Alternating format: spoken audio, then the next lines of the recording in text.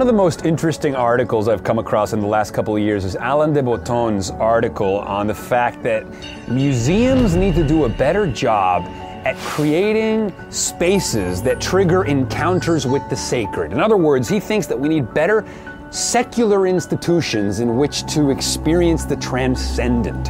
Human beings long for these encounters with the epic, to rub up against the numinous. We wake up and we want our lives to have meaning. So we go to church on Sunday, we look at beautiful cathedrals and experience some kind of awe, whether or not we are believers. The spaces themselves seem to induce it. And religions understand this well. But do secular institutions? I mean, aside from the movie theater, aside from the IMAX screen, occasionally playing a film like Inception and conjuring up the cosmic awe that only brilliant sci fi can conjure.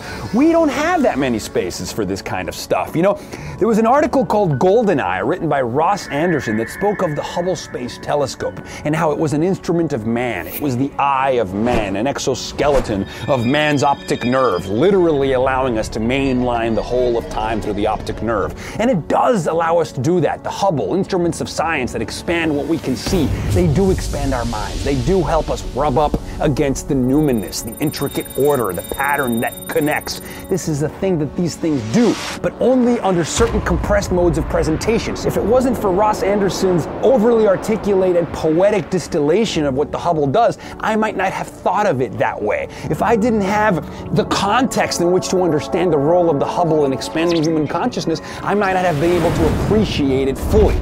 And so again, going back to the Alain de Botton idea, how can we create more spaces, more institutions, more interfaces that mediate our encounters with the epic, our encounters with the sacred, because we need that.